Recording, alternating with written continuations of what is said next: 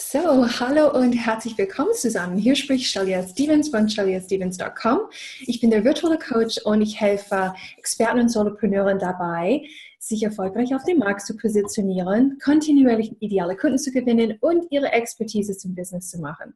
Und im heutigen Video plaudere, plaudere ich, äh, das Wort will ich rausholen heute, mit Claudia Kauscheder. Hallo Claudia. Hallo Sheila. Siehst du, bei mir kommt der Name nicht raus. Hallo Sheila. Wir haben gerade darüber gesprochen, dass ich noch leider an einem ziemlich fiesen Jetlag von ähm, einer Woche in Los Angeles meine Ausbildung und ich habe das Gefühl, ich habe Claudia angesteckt. Ich wollte gerade sagen, ich habe keine Ausrede, gell? Im heutigen Video wollen wir im Rahmen von dem Online-Training Keep in Touch Strategie über das Thema Redaktionsplan sprechen. Und Claudia und ich, wir haben uns nicht vorbereitet, wir werden einfach spontan äh, miteinander reden und gucken, was dabei rauskommt. Aber Claudia, du machst das quasi mit deinen Kunden zusammen. Vielleicht erzählst du ein paar ja. Wörter über dein, dein Business, deine Tätigkeit und wa was Redaktionsplan überhaupt mit dir zu tun hat. Okay, gerne. Ja, ich bin seit äh, fast drei Jahren jetzt unterwegs in Sachen Homeoffice, beziehungsweise, ähm, also ich unterstütze die die Homeworker, egal ob selbstständig oder unselbstständig, aber hauptsächlich selbstständig dabei, einfach die vielen Jobs, die sie durch die Selbstständigkeit und das Online-Business haben, äh, so zu strukturieren, dass sie leichter von der Hand gehen, dass sie Spaß machen, das heißt die richtigen Tools verwenden, die richtigen Workflows, Fokus behalten, Struktur reinbringen. Ja. Also das mache ich sehr gerne im 1 zu 1 äh, Coaching, mhm. beziehungsweise Beratung eher und äh, ansonsten habe ich Online-Kurse, die teilweise Selbstlernkurse, teilweise betreut sind. Und da geht es auch immer um dieses Thema. Thema Selbstmanagement, Zeitmanagement, Strukturfokus, ja. To-Do-Listen und, und äh, all sowas. Ja, was hat das mit Redaktionsplan zu tun? Ähm, Planung ist die eine Sache, Umsetzung ist die ganz andere Sache. Ja. Ähm, also geplant ist teilweise relativ schnell. Ich habe auch vor kurzem eine, eine Umfrage gemacht in Sachen Redaktionsplan, weil ich einen Workshop äh, dazu anbieten möchte oder anbiete. Und da kam sehr oft, äh, Planung überhaupt kein Problem, mein Redaktionsplan ist voll, ich habe nur keine Zeit, das umzusetzen. Ja? Mhm. Und damit ist die Sache natürlich äh, schon wieder erledigt. Ja, dann brauche ich mal keinen Plan machen, wenn ich eh schon von vornherein sehe, ich kann es nicht umsetzen. Mhm. Das ist also die zweite Schiene äh, sozusagen oder der Zusammenhang einerseits die Planung eben und andererseits, wie plane ich so, dass ich wirklich umsetzen kann ja. und mich da nicht in eine Negativ-Frustspirale hinein oh, plane. Ja. Ja. ja. Weil, ja, es kommt auch das Leben immer wieder dazwischen, das kennen wir eh alle miteinander. Ne? Und darum muss es auf der einen Seite die Richtung vorgeben, die Möglichkeiten beinhalten, aber auf der anderen Seite halt auch dabei helfen, flexibel zu bleiben gerade ja. beim Redaktionsplan. Dann stolpert man über irgendein Thema zwischendurch und äh, wenn man sich also dann zu sehr einengt mit dem Redaktionsplan, dann kommt so das Gefühl auf, oh, ich will doch unbedingt das schreiben ja, oder das Video machen und darf jetzt nicht, weil am Redaktionsplan was anderes draufsteht. Ne? Ja. Ja, und bei dieser, bei diesen, äh, ja, man kann fast sagen, Balance zwischen Planung und Freiheit äh, helfe ich eben meinen Kunden. Okay, das gefällt mir sehr, sehr gut, Claudia, weil also das ist das Letzte, was wir wollen, dass ein ja. Instrument, was Hilfe leisten sollte, was einem das Leben einfacher machen soll, dass es so eine Qualquelle ähm, wird, also dass ja. man irgendwie sich peitscht, weil man, dann nicht äh, sich dran hält. Genau. Und vielleicht gebe ich ein bisschen Zusammenhang in, in eine Verbindung zu dieser Keep-in-Touch-Strategie. Mhm. Also heute gab es ähm, das erste Webinar in diesem Online-Training zum Thema Keep-in-Touch-Strategie und wir haben über das Thema TOMA gesprochen, Top of Mind Awareness auf ähm, Deutsch, das ist äh, auf Englisch, das ist ein Marketingbegriff. Das heißt so viel wie bleib in Erinnerung, deine Kunden sei im Vordergrund ihres Gedächtnisses, wenn es um dein Thema geht, wenn sie an den Punkt kommen, wo es dringlicher wird und wo sie wirklich Hilfe, Unterstützung äh, benötigen oder wo, wo, ein Verlangen entsteht, wo sie gerne mit dir was machen wollen. Da denke ich gerade an den Wolfgang Staud. Also der hat nicht ähm, ein, ein Produkt oder ein Thema in seinem Expertenbereich, wo er ein Problem löst, sondern er hat Wein als Thema. Und als Weinexperte geht es um Genuss und dort könnte das Verlangen aufkommen, mehr über Wein zu, mhm. lernen und ähm, besser informiert zu sein, sodass man ähm, mehr Genuss erleben kann. Also egal ob Dringlichkeit oder Verlangen, dass wenn das aufkommt, dass wir diejenigen sind, die im Vordergrund des Gedächtnisses sind. Und das, was wir heute auch im Webinar gesehen haben, ist, dass es um die Regelmäßigkeit und, und auch die Konsistenz und um die Langfristigkeit ähm, äh, geht letztendlich. Mhm. Ähm, das heißt, dass wir nicht nur regelmäßig E-Mail-Newsletters e raussenden, sondern dass wir in meinem Fall regelmäßig Interviews führen auf Video. Das ist eine meiner Impulsmedien, ähm, was alle circa zwei Wochen gedreht wird oder wo wir Deep Dives machen, wo es darum geht, längere Erfahrungen zu schaffen, wie ein Webinar heute. Und indem man das tut, dass man top of mind bleibt. Und gerade für diese regelmäßigen Themen, die vielleicht sich über ein halbes Jahr oder ein ganzes Jahr ziehen, könnte für manche Leute, nicht jeder, weil nicht jeder ist so ein Strukturmensch. Manche Leute sind spontan, sie haben im Kopf, alle zwei Wochen komme ich mit meinen Inhalten raus und dann machen sie das und dann lassen sie sich einfach was Spontanes einfallen. Andere Menschen wiederum brauchen mehr Struktur. Und da kommt natürlich ein Redaktionsplan gerade äh, recht. Und deswegen würde ich gerne ähm, dich fragen, Claudia, was ist für dich genau ein Redaktionsplan? Wie, wie sieht das bei dir aus? Und ja, soll ich da umschalten oder ja, einfach mal nur plaudern? Okay. Also ähm, wer, mich, wer mich auch nur ansatzweise kennt, weiß, dass ich ein Trello-Fan bin. das heißt, mein Redaktionsplan ist auch in Trello, ganz natürlich. klar. Und ähm, ja, da gibt es natürlich auch mehrere Möglichkeiten, das aufzubauen. Und ich habe es inzwischen auch geändert. Ja, ich gebe mal den Bildschirm frei. So, da ist er, mein Redaktionsplan. Wow. Ähm, Im vorigen Jahr habe ich es noch anders gemacht. Ich habe also wirklich jetzt im Jänner gestartet auf ein neues System. Im vorigen Jahr hatte ich für jedes Medium eine Liste. Das heißt, Newsletter eine Liste, äh, was habe ich noch gemacht? Videos, Podcast habe ich ja im Sommer gestartet, Blogbeiträge, Webinare, überall eine Liste. Ja? Was mir da dann gefehlt hat, war so der, ähm, ja, ich bin von einem Thema zum anderen gehüpft, könnte man es mhm. mal so sagen. Und dadurch ist mir auch das Zusammenstellen des Redaktionsplans ziemlich schwer gefallen. Ja, weil ich immer in ein Thema reingepikst habe und dann habe ich ins nächste hineingepikst. Ja. Also schon geplant, aber doch, was mir halt so wild in den Sinn gekommen ist. Mhm. Und das habe ich eben jetzt heuer geändert, indem ich mir äh, für jedes Monat ein Überthema ausgesucht habe. Mhm. Wobei ich dazu sagen muss, das Thema kommuniziere ich nicht nach außen. Das mhm. ist für mich innen. Ja? Mhm. Das heißt, damit ich weiß, wenn ich über, wenn ich, wenn mir irgendwas einfällt oder wenn ich über einen Kommentar stolper, wo ich mir denke, ah, das passt zu dem und dem Thema, dass ich das gleich richtig einordnen kann. Mhm. Ja? So, und dann äh, gehe ich eben her und überlege mir, meist in einer Mindmap, was passt denn jetzt alles zum Beispiel zum Thema Workflow? Ja. Ja. Und äh, da liste ich einfach wild auf. Ich habe meine fixen Termine für Newsletter. Ich gebe hinein, wann habe ich welchen, äh, welches Seminar, wann bin ich auswärts. Ja? Es gibt da nämlich eine tolle Kalenderansicht. Warte, ich schubst dich da mal runter. Mhm. So, jetzt gehen wir auf Kalender. Und da habe ich den besseren Überblick. Ja, also in der anderen Ansicht habe ich so die Inhalte und die Ideen drinnen. Mhm. Und das ist dann wirklich der Terminkalender. Okay. Ja? Und anhand der, der Seminare, die ich gebe oder habe, kann ich dann zum Beispiel entscheiden, hm, ich bin das ganze Wochenende nicht da, ich bin in Frankfurt bei der Shelia. Dann wäre es doch toll, wenn ich am Montag jemanden hätte, der mir einen Gastartikel schreibt. Mhm. Einfach auch als Erleichterung mhm. für mich ja. selber. Ja? ja. Äh, oder ich habe äh, den, den Powertag Projektplanung am 28.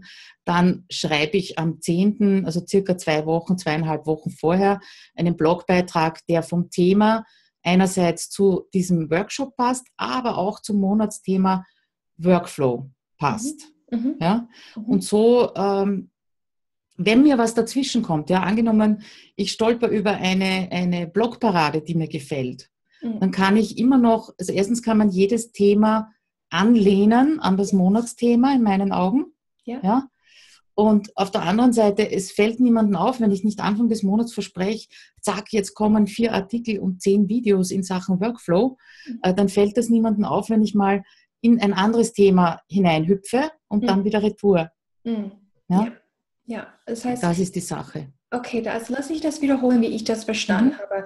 Also du hast quasi pro Monat ein, ein Thema, was mhm. ein roter Faden darstellt für dich. Genau.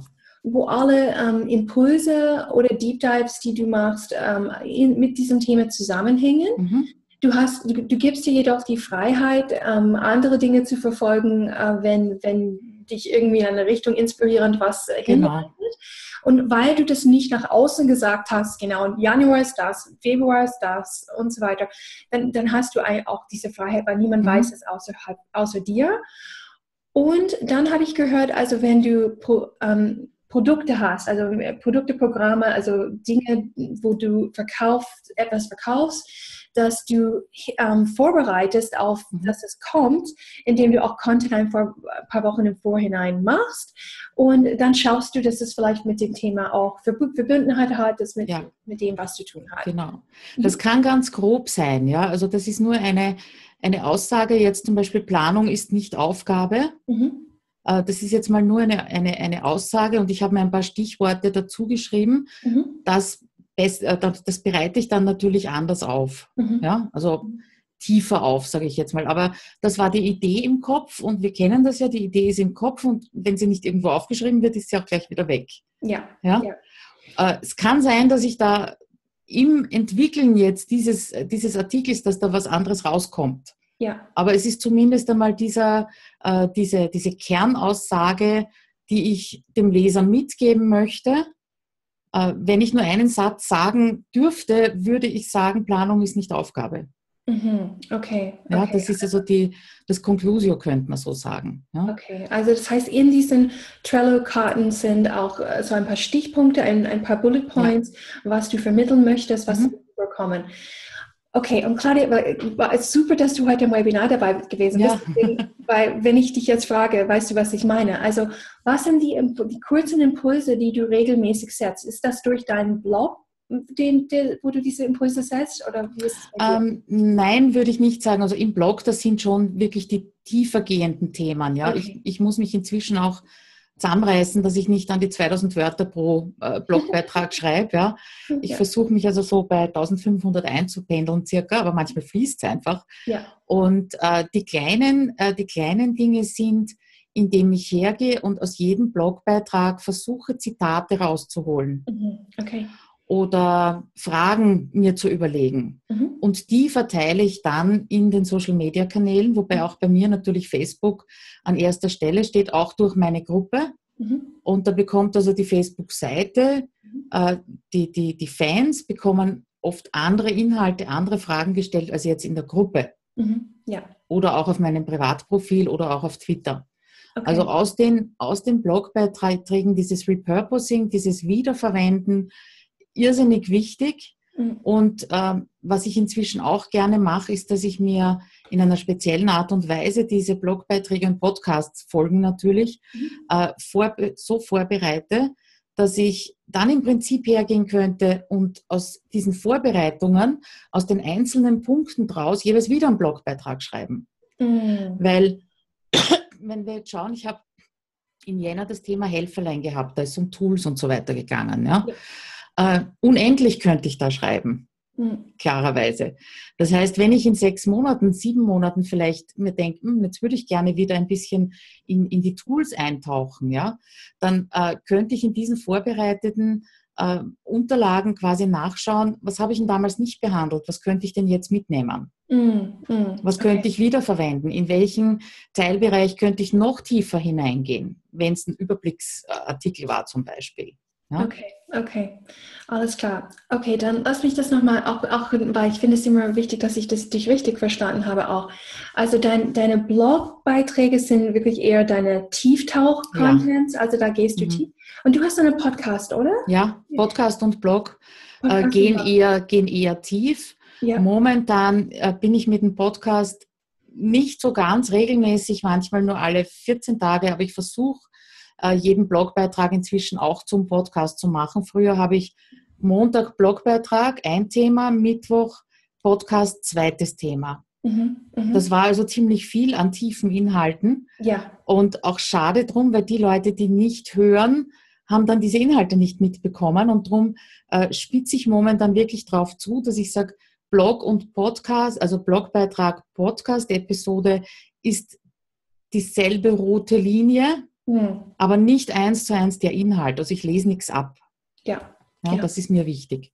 Okay, gut. Das heißt mhm. also, sie, sie gehen Hand in Hand und das ja. ist die Art und Weise, wie du vertiefend ähm, mit, denen, mit deinen Leuten mhm. austauscht. Mhm. Okay, perfekt.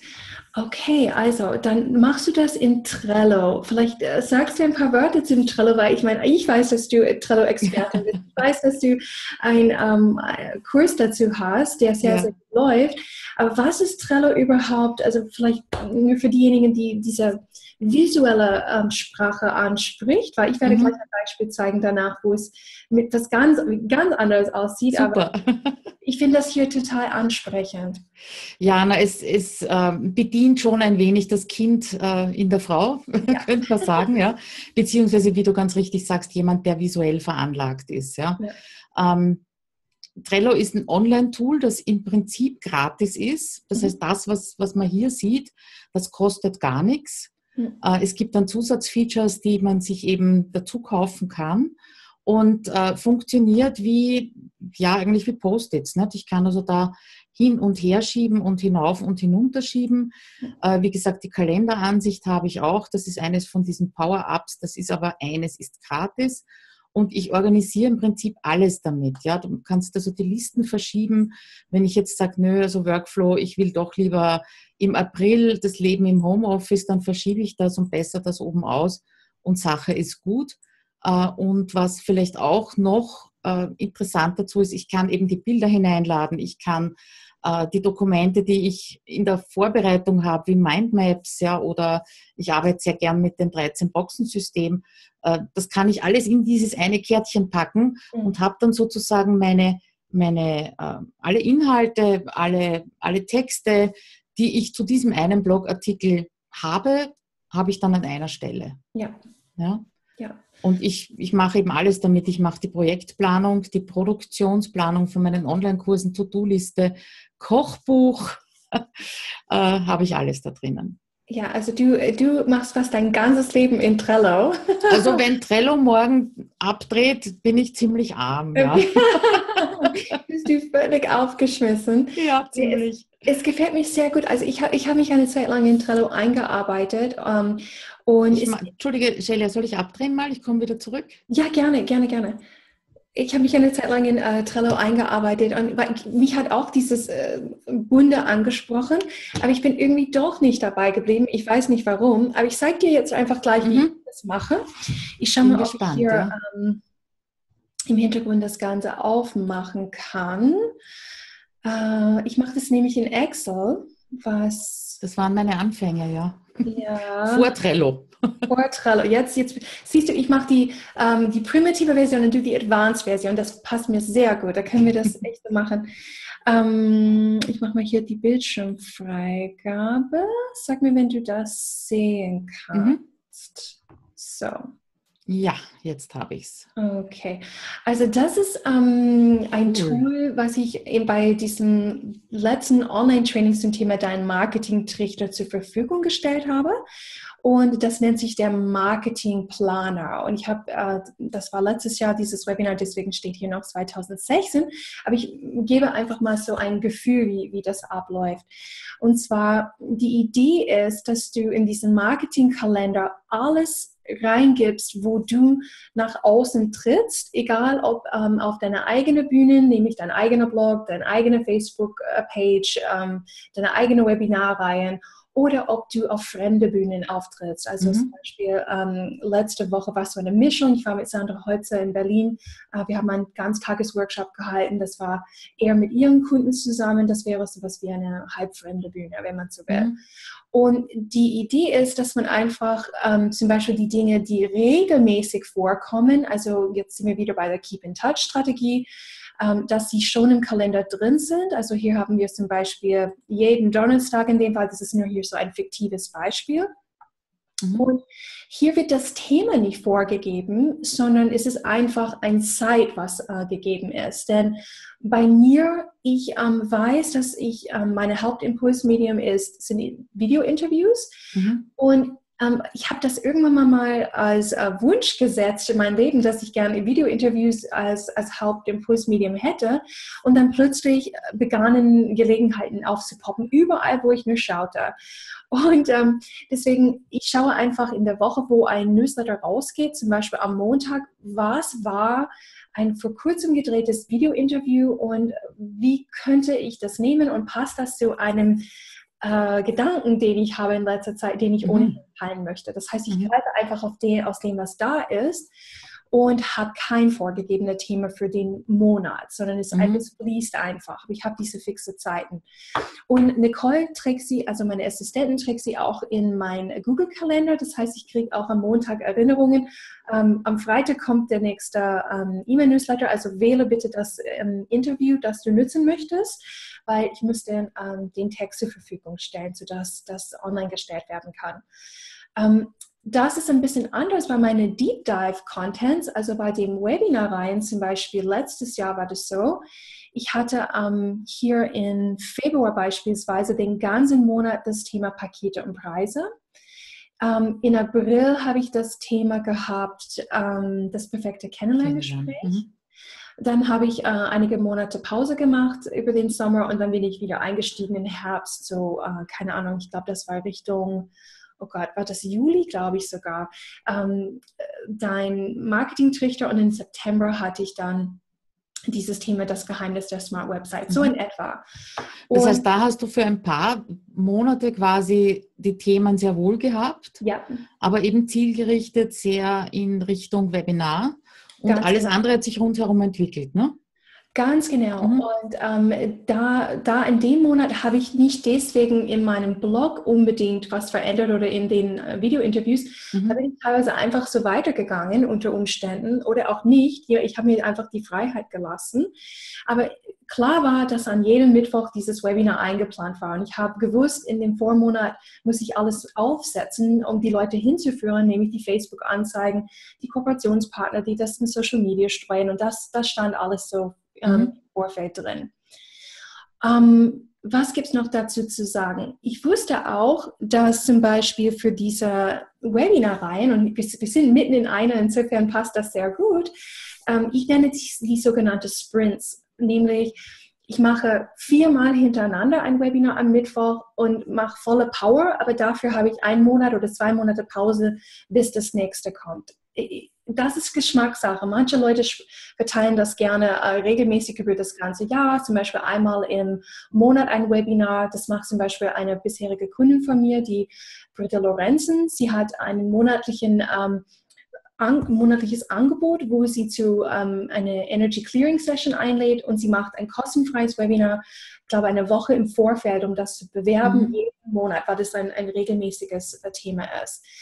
Ja, wobei ich sagen muss, diese, diese Konzentration der vier Webinare, so wie du es machst, ja, und dann zwei Monate nichts, muss ich ehrlich sagen, gefällt mir persönlich sehr. Ich habe die letzten zwei Jahre, also 2015, 2016, ja. sehr regelmäßig äh, Webinare gehalten, so alle drei, vier Wochen circa. Ja. Und das war schon ziemlich anstrengend, weil du äh, alles, was vorher kommt, ja, an Leute einsammeln, wie du sagst, äh, Facebook-Ads und so weiter und so fort, ja, äh, jedes Monat wieder von vorne anfängt. Ja. ja? Also diese, diese Konzentration äh, von einem Monat äh, extrem viel Input. Ich, ich fürchte, ich werde mir das ein bisschen abgucken müssen von Ach. dir. Übrigens, Claudia. Momentan habe ich es überhaupt gestoppt, weil ich ja also bei dir im Beyond bin und noch in einem anderen Kurs und äh, einfach viel zu tun ist. Und deswegen habe ich jetzt einmal die Webinare überhaupt gestoppt, ja. bis ich äh, meine Strategie auch wieder angepasst habe. Ja. Aber das gefällt mir sehr gut, diese Idee, äh, auf in einem Monat etwas zu konzentrieren und dann wieder Luft, beziehungsweise da geht es sehr stark um Fokus. Ne? Ja. Dann den Fokus wieder für etwas anderes zu haben und nicht Absolut. fünf Sachen parallel äh, pushen zu müssen. Ne? Absolut, absolut. Aber ich, ich habe so ein, ähm, ein primitives Gehirn. Ich glaube, die meisten anderen auch. So mein, Natürlich. Mein Lizard Brain nenne ich das auf Englisch. Ja. Und mein Lizard Brain kann nur auf eine Sache aufs Mal konzentrieren. Also das, das stimmt auch nicht ganz. Weil ich habe natürlich im Hintergrund meine 1 zu 1 Coach, Coachings laufen. Ich habe das Online-Gruppenprogramm laufen. Aber das sind Dinge, wo ich Gewohnheit drin habe, genau. wo ich dann nicht mehr darüber nachdenken muss. Es ist wie wenn du Auto fährst und Schaltung machst. Ja? Mhm. Das hat sich mit der Zeit ergeben. Und diese Sprint-Idee, ich weiß auch nicht, wie ich darauf gekommen bin. Es ist einfach irgendwann mal da gewesen und ich muss sagen, mir gefällt es auch richtig gut, weil es erlaubt dir die ähm, Möglichkeit, so nicht nur richtig tief in ein Thema einzutauchen mit deinem Zielpublikum und richtig Deep Dives zu machen mit ihnen, sondern ähm, du, du hast einfach diese Verschnaufspause und ich brauche das ja. unbedingt, weil ich, ich, ich bin so halb introvertiert, halb extrovertiert und auch das nach außen gehen ist es eine Seelenarbeit. Ich finde das jedes Mal, ich mache mich irgendwie verletzlich einen ganzen Monat lang und dann brauche ich ein bisschen Zeit, um mich wieder aufzufangen. ja, das, das, ja, das ist, ist, schon, das ist schon eine, eine sehr attraktive Idee, um es mal so zu sagen. Ja, das könnte ich mir durchaus vorstellen. Ja, dass ich das auch mal ausprobiere. Muss, man eh, muss eh jeder für sich ausprobieren. Auch, auch diese, diese Redaktionspläne, ja. ja. Äh, es gibt Redaktionspläne, ich, ich schaue es mir natürlich immer wieder an, auch was so ähm, Marketingpläne angeht. Ja. Also nicht, wo es nicht nur um jetzt Blog und Podcast und Newsletter und Webinare geht, sondern dann um alles, was hinten nach noch kommt. Ne? Das heißt, in Social Media die Sachen verteilen. Ja. ja. Äh, da wird mir teilweise wirklich schwindlig. Also ich liebe Pläne, ja, aber da gibt es welche, die überfordern mich absolut. Ja, ja, das ist einfach zu viel, was jede Woche ist und zu viel, was jeden Tag ist. Ja. Und vor lauter, man, man rutscht dann in so ein, ich muss unbedingt, ja, ja. Äh, und denkt überhaupt nicht mehr an, über den Tellerrand, dass es auch andere Möglichkeiten gibt, ja. Absolut. Was nicht heißt, dass nicht Regelmäßigkeit wahnsinnig wichtig ist. Mhm. Mhm. Ich habe zwar, ich glaube, das war im, im, im Herbst irgendwann, habe ich einmal geschrieben, Leute, ich habe es einfach nicht geschafft. Ich habe leider keine Podcast-Folge, es tut mir leid und geht sich nicht aus. Ja. Und habe dann ganz entzückende Rückmeldungen bekommen, so nach dem, äh, nach dem Motto, Claudia, du produzierst dermaßen viel, ich kann es eh nicht alles hören und sehen. Und das wird ja wohl niemandem auffallen, wenn du mal eine Episode auslässt. Ja. Aber große Gefahr, ja, weil dann ist eine Woche und die Woche drauf denkst du, pff, Thema fällt mir auch nicht wirklich ein, ja, und dann sind es zwei Wochen. Ja. Also das ist mördergefährlich, wenn, wenn man selber dieses Commitment aufweicht. Ja. Ja? ja. Und in der Woche drauf habe ich gewusst, biegen und brechen. Es kommt eine Episode raus, komme was wolle. Ja. ja.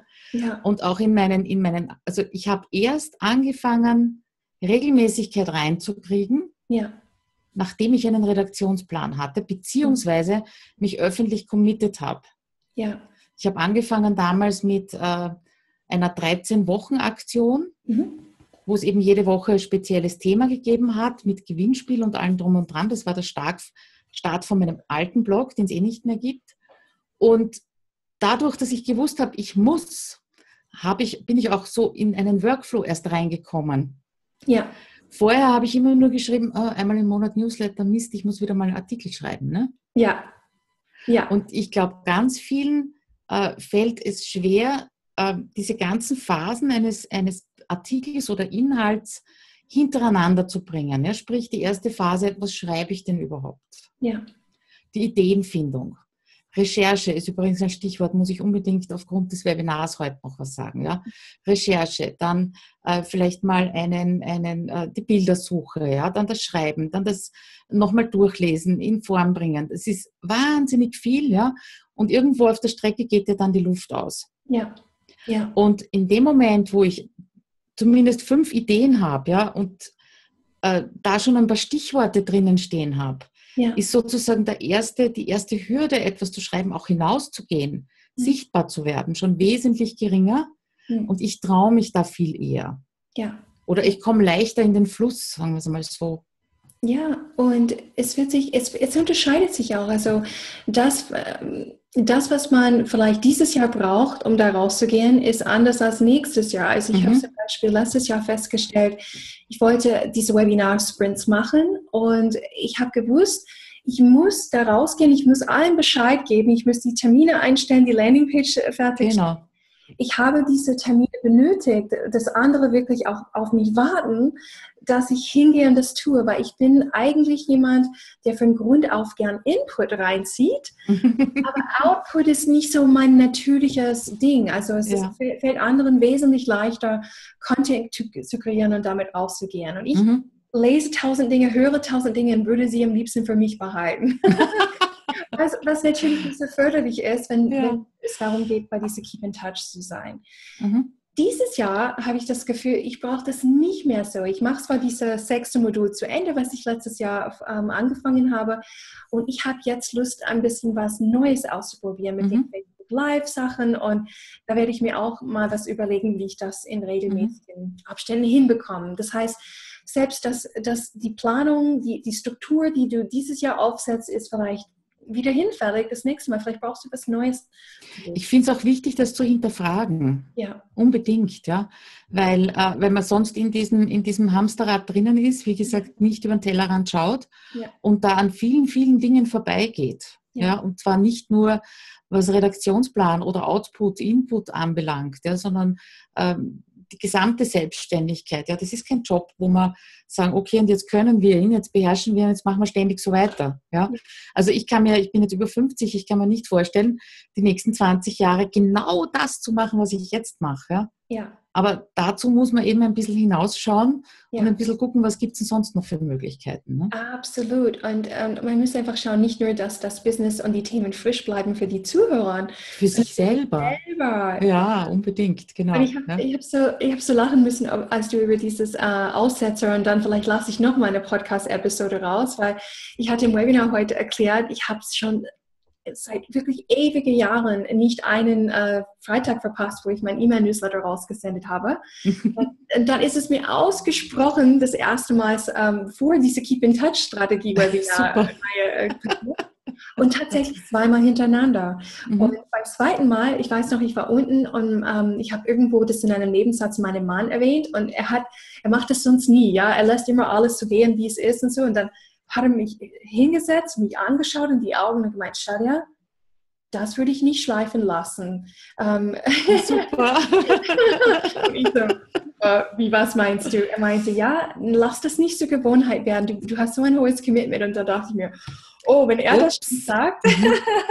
ja, aber das ist. Ja, aber recht hat er, ne? Weil das, das geht so schnell. Und wir wissen ja, wie schnell äh, die Wochen verfliegen, ja? ja?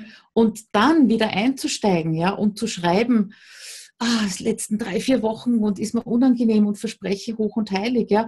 Je mehr Wochen das werden, desto unangenehmer wird es, äh, da quasi dem Publikum gegenüber die eigene Schwäche unter Anführungszeichen einzugestehen. Hm? Das ist so. Und ähm, das bringt mich ähm, zu dem nächsten Punkt, Claudia. Ich habe heute äh, dran gedacht im Webinar, aber es war eh schon so inhaltsvoll gepackt, dass ich nicht noch ein neues ja, super, ja.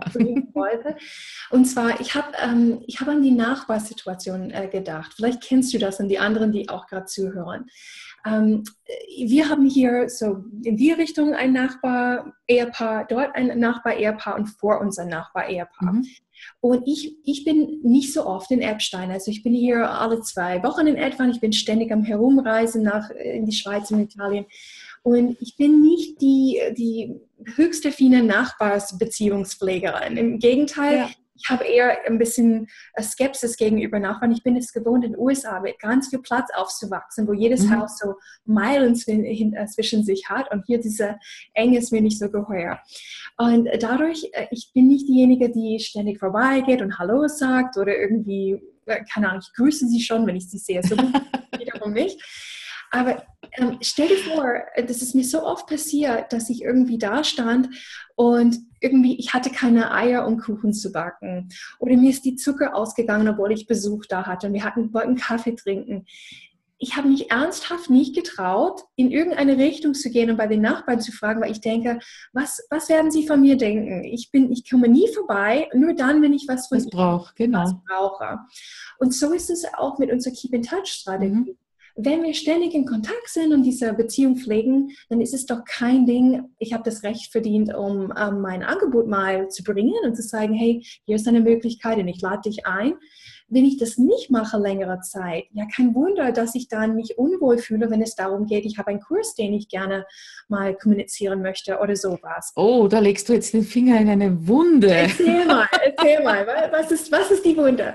Ja, die Wunde ist genau das, du, du sagst es genau, ja, in dem Moment, ich glaube nämlich, ähm, das, das geht von beiden Seiten aus. Ja? Also wenn, wenn du jetzt dein Publikum dazu erziehst, unter Anführungszeichen, ja, mhm. dass du gibst und gibst und gibst und gibst und zwar immer gratis, mhm. ähm, dann wird es plötzlich stutzen ja, und sagen, ups, was soll das jetzt? Auf einmal muss ich da was zahlen. Ja? Mhm. ja. Und genauso von der anderen Seite, wenn du immer nur gratis gibst, äh, wirst, du, wirst du das Gefühl haben, eben, dass du den, den Leuten eigentlich zu nahe trittst. Ne? Ja. So Nachbarn den Fuß in die Tür stellst, ja. damit du den Zucker kriegst, ne? so ungefähr.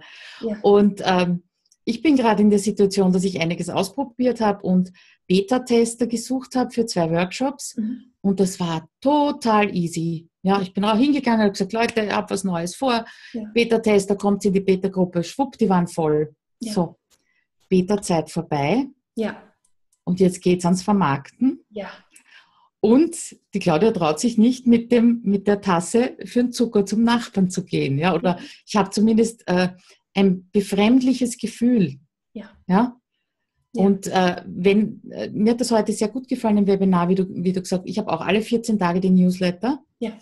Wie du gesagt hast, alle 14 Tage eben diesen Newsletter rauszubringen und in den Wochen dazwischen, wo kein Newsletter kommt, eben auf Angebote hinzuweisen. Ja? ja. Das hat sich also, das habe ich mir aufgeschrieben. Sehr gut. Um mich selber auch daran zu gewöhnen, den Leuten zu sagen, hey, da gibt es auch was zu kaufen.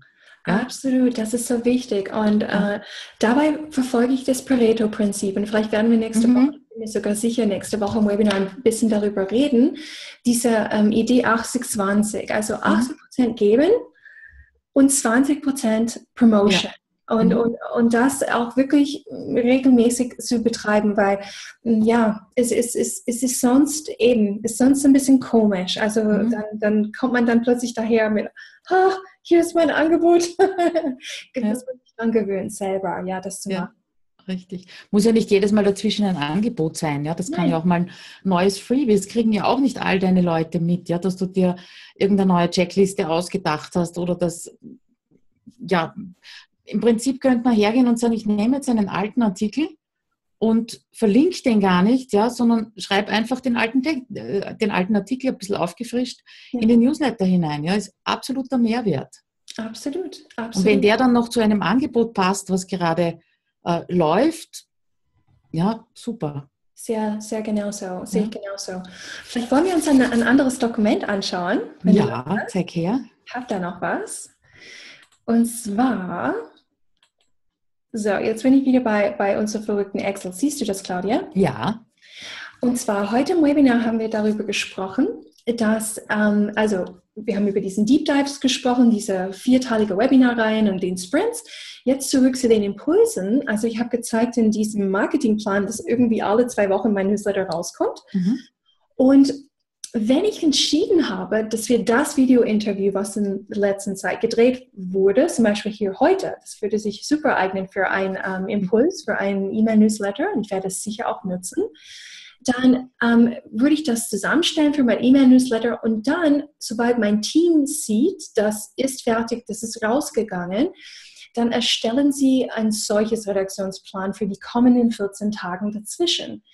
Und zwar, mm. was du hier sehen kannst, ist, wir haben hier ähm, einen Montag, einen Mittwoch, weil das ist das, was wir entschieden haben, dass wir Montag, Mittwoch und Freitag Promotional Post machen auf Facebook, mhm. Twitter, Zoom, äh, nicht Zoom, ähm, Google und Xing, all die anderen Sachen, wo wir von Hootsuite aus steuern.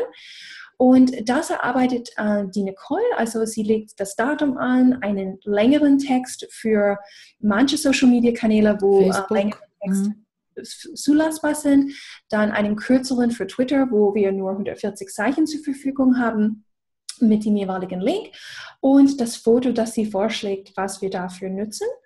Und das sieht man, geht es über zwei Wochen und wir, wir schieben auch rein unsere verschiedenen strategischen Partner, die wir auch pushen wollen oder Influencer, die wir erwähnen wollen in der Woche. Oder wir machen auch ähm, auf Angebote aufmerksam, die gerade erschienen sind und so weiter. Und dann schaue ich mir das an, dann gebe ich das entsprechend frei oder korrigiere das und sie stellt das dann in Hoots mhm. ein für die automatisierte Aussendung. Und somit habe ich ein leichtes Spiel, dann immer wieder an die anderen Tage einfach mal was Persönlicheres, was Privates, was Spontanes ähm, zu machen. Also wir haben hier Luft drin, vor allem am Donnerstag, Dienstags und Donnerstags, äh, wo nichts ist, wo ich einfach mhm. auch was ähm, machen kann. Ich habe gedacht, ich, ich, teile das auch. Bin begeistert. Könntest du ganz super in Trello abbilden? Ja. Mit Team. ja, erzähl mal, wie würde das in Trello gehen? Das würde in Trello einfach so gehen, dass du, äh, dass du für das Datum das Kärtchen anlegst. Mhm. Da wird der Text, äh, der vorgeschlagen wird, genauso hineingeschrieben, die Links genauso und die Bilder genauso. Okay, sehr ja, interessant. Und du kannst die Trello-Boards, kann, ich meine, ich arbeite halt alleine drinnen, weil solo und noch keinen Assistenten oder Assistentin. Das kommt, Claudia, das kommt. Ja, 2018 steht ganz oben auf der Liste. Ja, ähm, ja und man kann sich ein Board teilen hm. und kann über das Board miteinander kommunizieren. Ja. ja mit verschiedenen Members. Ich sehe schon, also, ich müsste den Trello-Kurs bald buchen. Ach Gott, der ist momentan. Also ich, ich glaube, wenn es also ist ganz witzig, es, es, buchen ganz viele Leute den Trello-Kurs, mhm. ja, und andere kommen und sagen, ich möchte genau das umsetzen in Trello, zeig mir das. Mhm. Und die buchen dann ein bis drei Stunden, je nachdem, wie komplex das ist. Ja. Und äh, wollen nur genau diese, diese, diesen Workflow dort abbilden. Ah. Und sich schulen mhm. lassen. Ja. Mhm. Auch eine Möglichkeit. Mhm. Jetzt gehen, alle, jetzt gehen alle Blinker im Kopf bei mir an, Claudia. Ich komme noch auf dich zu. super. Sheila, was ich noch unbedingt loswerden wollte, heute ja. im Webinar ist angesprochen worden, recherchieren das Thema. Ja. Ja. Und mir hat das fast in der Seele wehgetan, weil ich es so gut kenne. Ja, also zu Beginn meiner regelmäßigen Bloggerei mhm. habe ich es auch ganz oft gelesen. Ah, du musst recherchieren und ein Blogartikel zehn Stunden, ja, und davon müssen mindestens fünf Stunden Recherche sein. Was war das Ergebnis davon, dass ich natürlich ganz viel Mitbewerber von mir verfolgt habe und äh, mir erstens immer gesagt habe, oh, die machen das viel besser als ich. Ja. Die schreiben viel besser als ich, ja. die haben die besseren Fotos als ich. Ja? ja. Und auf der anderen Seite habe ich mir selber dann einige Themen verkniffen, mhm. weil ich mir gedacht habe, ach, der hat das vor zwei Wochen geschrieben, jetzt kann ich ja nicht schon wieder drüber Absolut. schreiben. Das ist ja, ist ja Fahrt. Ne? Ja. Und äh, ich habe aufgehört damit. Ja. Ich habe einfach, natürlich habe ich nach wie vor meine, meine meine Partner und, und die, wo ich sage, ja, die sind ganz in Selbstmanagement ein bisschen andere Richtung als ich, ja, weil sie eben mit, mit Firmen zusammenarbeiten oder ähnliches, ja, oder haben völlig andere Produkte, Schwerpunkte, ja. Die habe ich zwar in meinem RSS Feedreader und lese da auch gerne, aber nicht im Hinterkopf mit, ich bin auf der Suche nach Themen. Ja. Auf die Suche nach Themen gehe ich eher in meinen alten Blogartikeln, in, mhm. meinen, in den Kommentaren dort, in meiner Facebook-Gruppe, mhm. in äh, E-Mail-Fragen, die mir gestellt werden. Ja? Mhm. Aber wenn man, wenn man so fixiert drauf ist, was machen die anderen, dann glaube ich auch, dass einem Parallelen auffallen, die gar nicht absichtlich entstehen. Ja? ja. Ich habe mir ein Jahr lang verkniffen, einen einen Blogbeitrag über Pomelo, also über Pomodoro-Technik zu schreiben, mhm. weil es da mindestens 150 deutschsprachige gibt. Mhm. Mhm. Und irgendwann habe ich mir dann gesagt, ach, wurscht, ja. Ich habe meine Sicht der Dinge und habe äh, die, ich glaube, 20 Vorteile oder so von, von Pomodoro-Technik geschrieben. Ja? ja. ist irrsinnig gut angekommen, obwohl es schon 150 andere gibt. Ja, und manchmal sogar ja gerade deswegen, weil eine hohe ähm, Anzahl von Content ähm, heißt ja auch meistens eine hohe Nachfrage zu einem genau. Zeitpunkt auf dem Markt. Genau, also, ja. ja, absolut. Also Recherche ja, aber nicht in, äh, wenn man, oder vielleicht, manche stört es vielleicht auch nicht, ja. Manche sagen, yippie, ju, ich hebe mir das einfach auf, wird schon irgendwann einmal kommen. Ja. Aber wenn das an die, an die Energie geht und an die Freude daran geht, etwas selber zu produzieren, ja, ja dann bleiben lassen, ja, bei ja. sich, wie du heute gesagt hast, aus dir heraus, ja, jeder, der sich, äh, der sich selbstständig macht, Experte ist, einen Blog macht, Podcast macht, was auch immer, ja, ja. Der, der muss so viel aus sich her herausholen können schon, ja, ja, weil sonst funktioniert das gar nicht. Der kann nicht immer von rundherum zusammensammeln, die Themen und die Meinungen. Das Absolut. ist ja viel zu aufwendig, ja, und kommt auch nicht authentisch Absolut. rüber. Absolut, das ist so. Und ich bin so froh, dass du das sagst wieder, Claudia, dass, dass ähm, zum Glück bei mir war das so, ich habe nicht irgendwelchen Blogkurs am Anfang gemacht. Ich hab, ja, ich habe ich hab einen Blogkurs gemacht, genau. Ja. ja. da wird, und, und, und, das ist überhaupt, das ist überhaupt die Gefahr. Jetzt, jetzt, jetzt sage ich das einfach gerade aus, wie es ist. Ich mache mit dieser Webinarreihe auch, ich stelle mich hin als Experte und ich sage, so mache ich es und das sind meine Ideen dazu das ist da so die Gefahr drin, dass jemand davon geht und denkt, ich müsste es genauso machen, sonst wird es nicht. Und ja. alles, was ich tue, ist, ich teile das, was ich auf meinem Lebensweg, in meinen 42 Jahren jetzt ähm, gesehen habe, ähm, ausprobiert habe, meine Erfahrungen. Und vielleicht ist das eine, hat das eine Relevanz für dich, ist für dich auf eine Idee, ist das wirklich ein Sprungbrett. Oder vielleicht ist es so, ähm, bei solchen Sachen, dass du einfach sagst, ich habe wenig Zeit, ich möchte einfach das Rezept, das Shelly mir sagt, erstmal beginnen mit dem und genau. schauen, was passiert. Mhm. Aber nicht zu glauben, dass es exakt so sein muss, weil in uns drin steckt etwas da, was, was uns sagt, hey, das, probier das mal aus.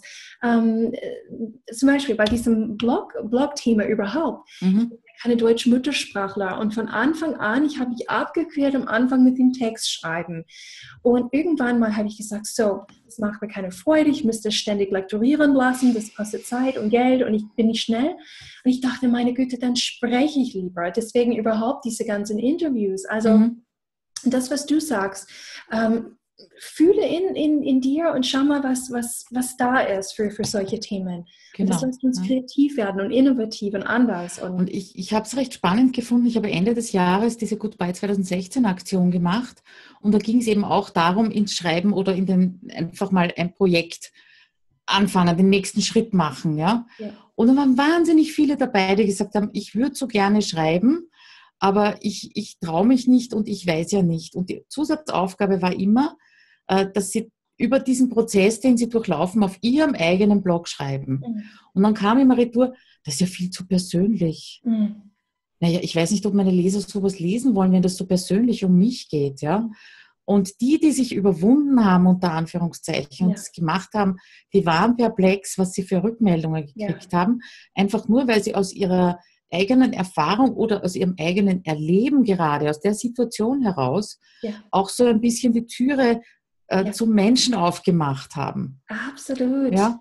Absolut. Also es ist so viel in uns drinnen und wir erleben jeden Tag so viel, da müssen wir nicht nach irgendwelchen anderen Artikeln schauen oder uns Englische durchlesen, die wir dann auf, auf Deutsch irgendwie umwandeln. Das ist einfach nicht notwendig. Das ist so. Und es gibt nichts Spannenderes für uns Menschen als andere echten Menschen. Und es gibt nichts, was uns so verbindet wie ähm, Erzählungen, Stories, ähm, genau. jemand, der, der, sich verletzlich zeigt, der nicht perfekt ist. Also, ja. äh, weil wir alle nicht perfekt sind. Und das lässt uns einfach eine Identifikation ähm, schaffen, die sonst nicht möglich wären, wenn wir versuchen, alles tot zu recherchieren und perfekt darzustellen. Ja, ja. ja.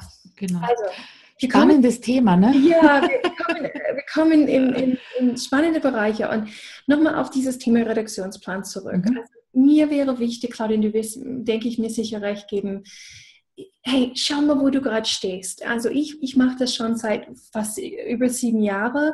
Es hat eine Weile gebraucht, bis ich gemerkt habe für mich, wie das am besten für mich ist, welche Struktur ich benötige. Es hat sich jedes Jahr ein bisschen verändert. Claudia macht das einigen Jahren und, und ihr geht es genauso. Ähm, du musst nicht von heute auf morgen einen Redaktionsplan haben. Du brauchst nicht vielleicht jemals einen Redaktionsplan zu haben. Schau mal einfach, ob dieses Instrument für dich nützlich sein kann, ob es dich inspiriert, ob vielleicht eine solche Travelboard mit den Karten, äh, ob du die spannend findest, ob du lieber einen Marketingplan machst oder was anderes. Und ähm, wir wollten einfach heute ein paar Impulse setzen und ähm, ein bisschen Anregungen geben, was möglich ist und wie wir das in unserem Geschäft machen. Oder Claudia, wie siehst du das? Ja, sehe ich absolut so. Ja, also ich, ich würde auch in Richtung Redaktionsplan gehen. Dann, wenn ich sage, das hilft hilft dir, äh, Regelmäßigkeit reinzubekommen. Das hilft dir, nicht so dieses typische weiße Blatt vor der Nase zu haben und dann äh, in die Schreibblockade zu rutschen. Ja. Und das ja. muss nicht für drei Monate, sechs Monate, zwölf Monate sein. Ja. ja. Es reicht äh, mal einen Monat sich anzuschauen. Wenn man sagt, okay, Regelmäßigkeit kriege ich nicht hin, dann committe ich mich mal einem Plan gegenüber. Ja. Ja, Tu das, was dir hilft. Ja. Also das ist um, umzusetzen. Das Wichtigste, genau. Ja, genau. Und dann verändern, immer in Beobachtung bleiben. Es ist ja immer der gleiche Kreislauf.